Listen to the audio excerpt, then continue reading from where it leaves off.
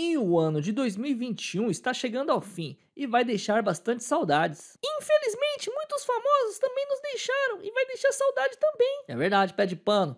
No vídeo de hoje, a gente vai fazer aqui uma retrospectiva breve de alguns famosos que infelizmente morreram neste ano de 2021 e, como disse o pé de pano, vão deixar saudade. Podemos ver aqui, segundo reportagem do R7, que fala Relembre famosos que morreram em 2021 vão deixar saudade. Mortes abalaram o Brasil, como a de Marília Mendonça, MC Kevin e Tarcísio Meira, entre outros artistas, né? Aí tem aqui a foto deles aí. E vamos começar com a Marília Mendonça. A cantora morreu no dia 5 de novembro, vítima de um acidente aéreo. Ela viajava a trabalho e faria shows em Minas Gerais. Outras quatro pessoas que estavam a bordo da aeronave também não resistiram. A Marília Mendonça deixou saudade, né, pé de pano? Eu gostava muito dela. Sim, pé de pano. Ótimas músicas. Aí tem aqui embaixo, Paulo José grande nome do teatro, da TV e do cinema. O ator lutava há mais de 20 anos contra o mal de Parkinson, deixando saudades também. Outro que nos deixou foi o MC Kevin. O funkeiro morreu no mês de maio, aos 23 anos, após cair do quinto andar de um hotel no Rio de Janeiro. Kevin chegou a ser socorrido pelos bombeiros, mas não resistiu aos ferimentos. Nossa, foi em maio, parece que foi ontem, né? O ano passou muito rápido. O MC Kevin também deixou saudade para muitos. Aí tem aqui o Paulo Gustavo. O humorista de 42 anos foi vítima da Covid. Ele ficou internado por quase dois meses, mas perdeu a luta contra a doença. O artista ganhou fama por interpretar Dona Hermínia na franquia Minha Mãe é uma Peça. A personagem é inspirada mãe de Paulo Gustavo. Esse aqui também deixou saudades.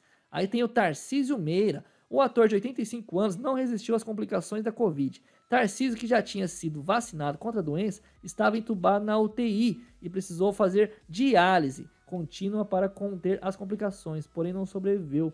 Tarcísio Meira, uma lenda aí da televisão, né? Realmente esse ator foi muito, muito famoso e muito querido. Meu pai e minha mãe mesmo gostam muito. Aí tem aqui embaixo o Luiz Gustavo. O ator morreu no dia 19 de setembro, aos 87 anos, em Itatiba, São Paulo. Ele lutava contra um câncer no intestino. A informação foi revelada e lamentada por Cássio Gabos Mendes, sobrinho de Luiz Gustavo nas redes sociais. Também deixamos saudades. Aqui embaixo, o Orlando Drummond. O saudoso seu peru na escolinha do professor Raimundo morreu no dia 27 de junho, aos 101 anos. A causa da morte do ator e dublador não foi divulgada, mas sabe-se que maio o artista foi internado e ficou dois meses em um hospital do Rio de Janeiro devido a um quadro de infecção urinária. Então o mundo do humor ficou mais triste.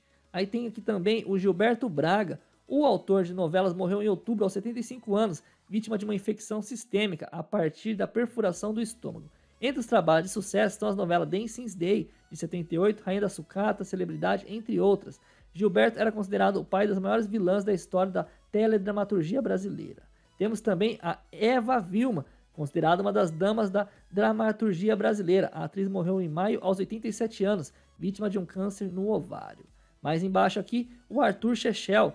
O autor e jornalista tinha 69 anos e foi diagnosticado com um linfoma. No dia 25 de junho, ele sofreu uma parada cardíaca e não resistiu.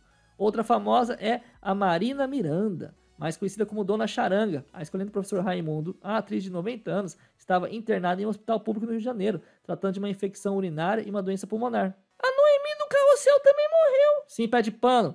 Noemi Gerbelli, atriz de 68 anos que integrou o remake do sucesso Carrossel, no qual viveu a diretora Olivia, morreu no início de dezembro. A causa da morte não foi revelada. Ela era do Carrossel, a diretora.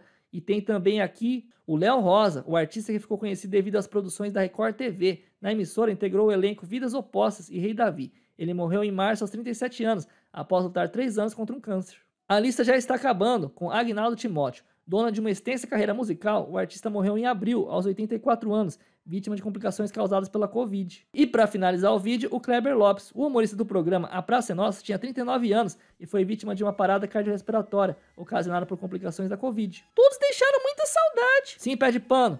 Claro que muito mais pessoas morreram, né? Mas a reportagem, ela trouxe apenas essas pessoas aí mais famosas, né? Mas a gente sabe que realmente todo mundo é igual, né? Ninguém vai ficar aqui eternamente, tá todo mundo de passagem e assim, vamos tentar aproveitar a vida ao máximo, fazer boas coisas, né? Fazer boas obras e sempre manter a fé em Deus, para que assim a gente possa tornar este mundo melhor e né, manter a fé em Deus sempre. Mas e você que assiste esse vídeo? Você gostava de algum deles? Você gostava de todos eles? Qual a sua opinião sobre tudo isso? Deixa nos comentários eu quero saber. Também é muito importante você se inscrever aqui no canal para mais vídeos como este aqui. Ativem o sininho e ano que vem vai ter muito vídeo bom aqui. É verdade, pé de pano. É isso aí. Muito obrigado, pessoal. E que Deus conforte a família de todas essas pessoas.